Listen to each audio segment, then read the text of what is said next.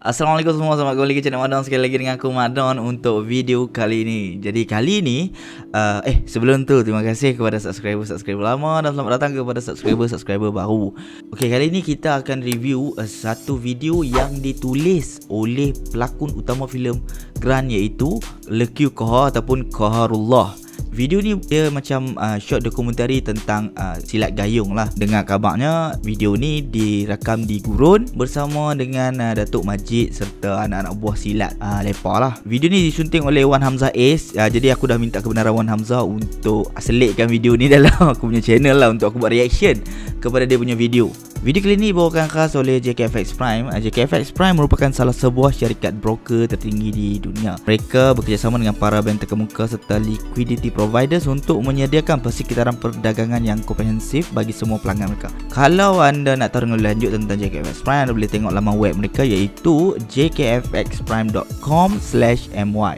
Dalam tu anda boleh tengok ada macam-macam informasi uh, dan uh, macam-macam promotion yang ada dalam uh, website tersebut. Tu hari ni aku nak sembang tentang salah satu promotion yang dibuat oleh JKFX Prime iaitu Profit Spring Contest Wang tunai berjumlah RM20,000 untuk dimenangi untuk para traders di mana tempat pertama akan memenangi RM3,500 USD bersamaan 14 ke RM15,000 Malaysia. Tempat kedua RM1,000 USD bersamaan dengan dalam RM4,000 Malaysia dan tempat ketiga adalah RM500 USD bersamaan dengan RM2,000 Malaysia. Tempoh untuk daftar ataupun deposit uh, wang penyertaan adalah 31 Oktober 2020. Kontes akan bermula mulai 1 November sehingga 30 November. Ha, so kalau hangpa nak tengok lebih lanjut, hangpa boleh tekan link kat bawah. Aku ada sediakan link kat bawah. Ini adalah untuk orang-orang yang uh, traders lah, trade orang-orang yang trading lah. Okay, so kalau hampa nak kalau hampa tak tahu apa trading ke apa ke tak pernah ke hampa boleh tengok juga laman web dia dia ada bagi kelas percuma. Tengah traders dia dia ada orang kata kenakan bayaran tapi kalau hampa nak terang lebih jangka, lanjut hampa tengok uh, dia punya website, tanya dia dia ada dia ada sediakan latihan-latihan percuma untuk para para traders yang beginner yang tak tahu nak trade macam mana apa semua. Kelas dia percuma saja jangan risau dia ada kelas secara fizikal hang boleh pergi dia punya uh, bangunan ataupun hang boleh tengok kelas dia dalam FB live. Okey, tanpa meleng Okey, tanpa melengahkan masa lagi kita akan react kepada video dokumentari uh, nukilan uh, Lekyu Kohar ni yang bertajuk Kesani. Kalau beringat lagu M Nasih apa orang kata Menteri Semera Padi tu apa akan tahu lah ada ayat Kesani ni. Uh, jadi jom kita tengok sama-sama.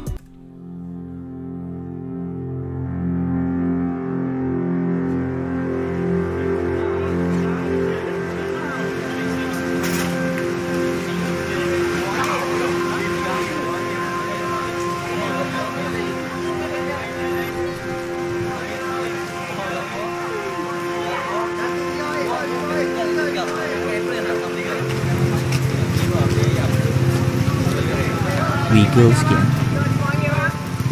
Ya bang, tengok ayam kat sini bang. Ayam kat sini lagi sedap pada ayam kat sana bang. Ada tiga ringgit, dua ringgit. Berapa ringgit ni?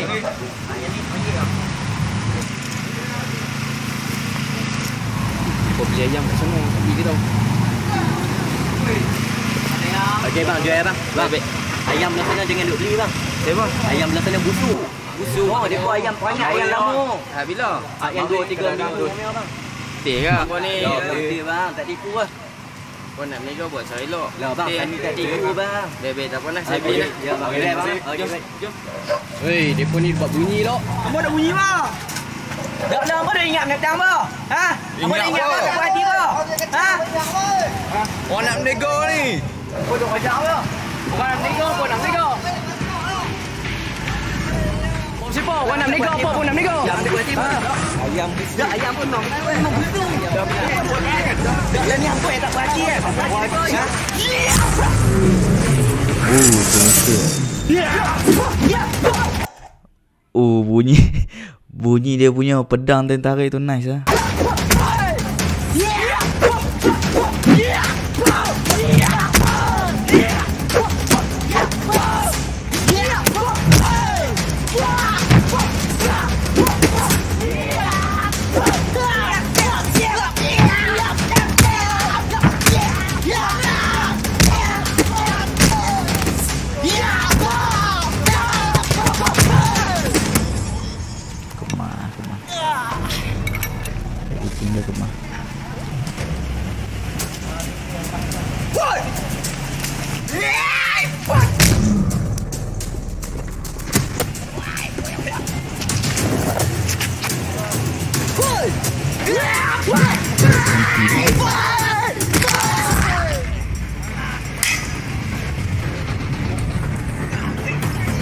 Dia boleh berhenti dulu no sebelum beli kerusi.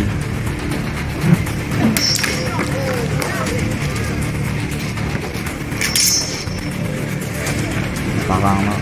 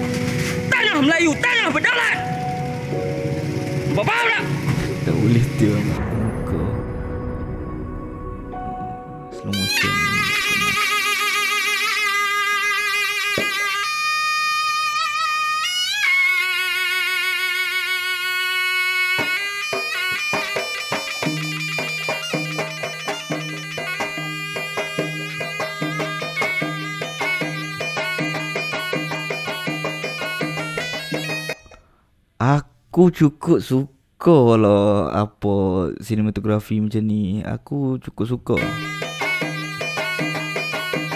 Oh ni. Hak macam ni ya, yang uh, tracing dari belakang, tracking dari belakang ni. Oh, aku cukup ah, lawanya. Lawa gila faham tak? Dia rasa macam puas hati bila dengan slow motion dia. Kenalah dah dengan pukul gendah.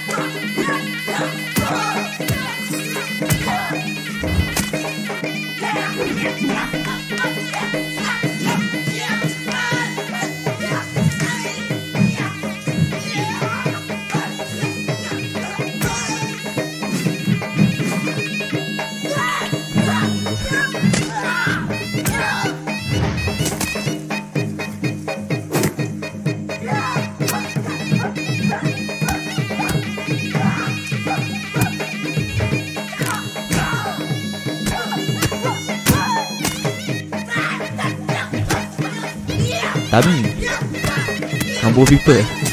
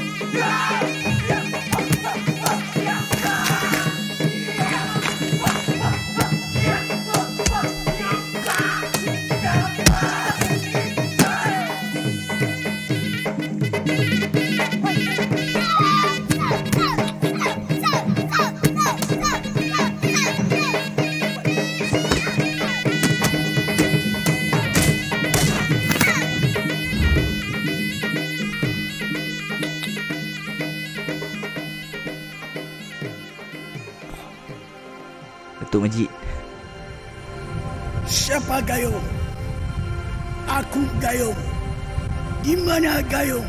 Di sana Gayung. Di sini pun Gayung. Apakah itu Gayung? Genggam, angkat, yakin, waras dan ngiri. Aku berjuang kerana Gayung.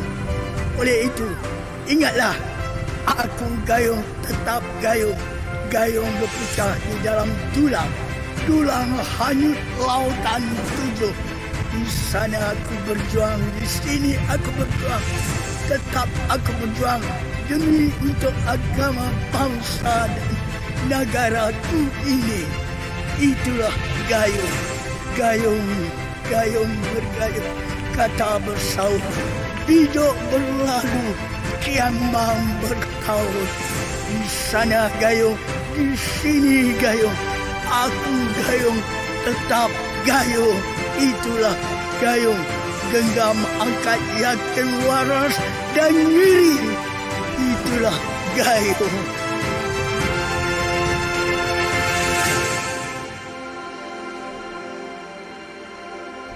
Kemah, kemah.